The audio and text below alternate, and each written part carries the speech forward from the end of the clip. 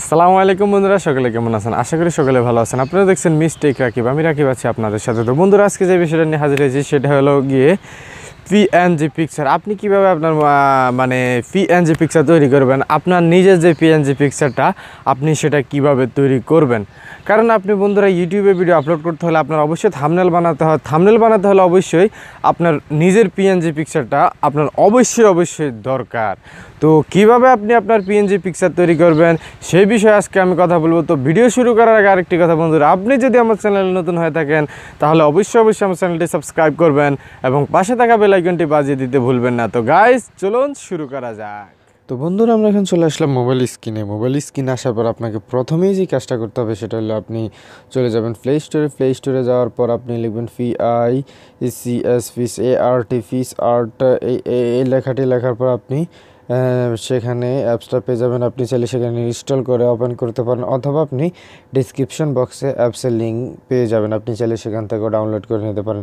তো বন্ধুরা, আপনি যখন ইউটিউবে ভিডিও আপলোড করবেন, তখন আপনার অবশ্যই ভিডিও থামনেল বসাতে হবে। তো থামনেলে অবশ্যই অনেকেই বন্ধুরা নিজের ছবি ব্যবহার করে থাকে। তো নিজের ছবি ব্যবহার করতে হলে আপনার অবশ্যই ছবিটাকে পিএনজি পিকচারে পরিণত করতে হবে। তো পিএনজি আপনি কীভাবে বানাবেন আপনার ফটো কারণ সকলে চায় সকলের একটা ভালো ছবি পিএনজি হিসেবে ব্যবহার করতে। তো আপনি যেটা করবেন, আপনি আপনার ছবিকে যেহেতু পিএনজি তৈরি করবেন, সেহেতু আপনি চলে যাবেন ফিক্স আর্টে আমি আপনাদেরকে দেখাচ্ছি যে কীভাবে আপনি করবেন। এডিটে চলে চলে যাবেন এডিটে যাওয়ার পর আপনার ইচ্ছা মতো একটা ছবি আপনি এখান থেকে সিলেক্ট করতে পারেন। ধরুন আমি এই ছবিটাই সিলেক্ট করলাম।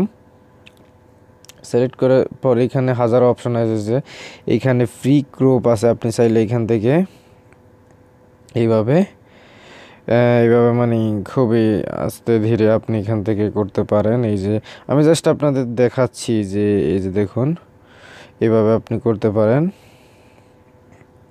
এটা হলো আশেপাশে সবগুলো মুছে দেওয়ার জন্য আর এটা হলো, আবার যেগুলো আছে এগুলো ইয়ে করার জন্য ধরুন এইভাবে দিতে পারেন। অথবা আপনি চাইলে যে আমি না এত আস্তে ধীরে না আমি একবারই করব। তাহলে এই যে কেচির মতো একটা অপশন আছে, আপনি এটাতে যাবেন, এটাতে যাওয়ার পরে এই যে এইখান থেকে আপনি জাস্ট শুধু পাশের মানে ছবির সাথে আপনি শুধু রেখাটাকে এইভাবে টেনে দিবেন।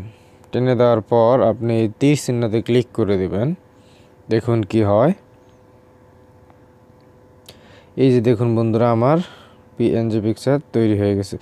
জাস্ট আশেপাশে একটু ইয়ে থাকবে জাস্ট আপনি এটাকে এটাকে পূরণ করে দিবেন। এই যে দেখুন, আমি এটাকে ইয়ে করে দিচ্ছি। আর এইখান থেকে আপনি চাইলে এটার সাইজ কমাতে পারেন, বাড়াতে পারেন। আমি একটু কমিয়ে নিচ্ছি, আপনি চাইলে এখান থেকে।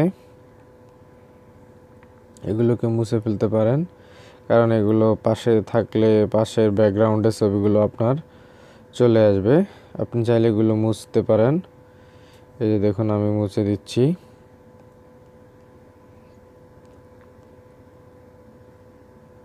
তো বন্ধুরা, এই যে দেখুন আমার কিন্তু পিএনজি পিকচারটা রেডি হয়ে গেছে। তো এই যে দেখুন, আমার পিএনজি পিকচার যেটা, সেটা রেডি হয়ে গেছে। তো এখন আপনাকে যেটা করতে হবে, আপনি আপনি এটাকে মানে সেভ করতে চাইলে আপনাকে প্রথমে যে কাজটা করতে হবে, আপনি আগে আপনার মানে আশেপাশের সবগুলো দিক, আমি শুধু আপনাদের দেখানোর জন্য, দেখানোর সুবিধার্থে আমি জাস্ট কীভাবে করবেন আপনি, সেটা আপনাদেরকে আমি দেখাচ্ছি। এই যে সেভে ক্লিক করে দেবেন। সেভে ক্লিক করে দেওয়ার পর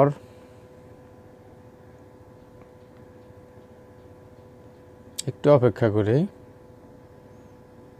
লোডিং হচ্ছে। এই যে পিএনজি পিকচারটা চলে এসেছে। তারপর আপনি তীর চিহ্নতে ক্লিক করে দেবেন।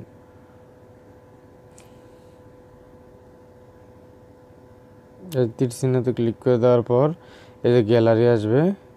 তো গ্যালারি আসলে এখানে হয় কি কানেকশন ফিল্ড এই পিএনজিটা আপনার আপনি সেভ করতে হলে আপনার অবশ্যই মোবাইলের ডাটা অপশনটা চালু রাখতে হবে এবং মোবাইলে মেগাওয়াইট অবশ্যই থাকতে হবে। জাস্ট দুই থেকে আড়াইশো কেবি এই এই পিকচারটা আপনার কেটে নেবে। এই যে দেখুন সেভ টু গ্যালারি তো বন্ধুরা, আমার এই ভিডিওটা যদি আপনার একটুও ভালো লেগে থাকে অথবা একটু উপকার হয়ে থাকে, তাহলে অবশ্যই অবশ্যই আমার চ্যানেলটি সাবস্ক্রাইব করবেন এবং পাশে থাকা বেল আইকনটি বাজিয়ে দিতে ভুলবেন।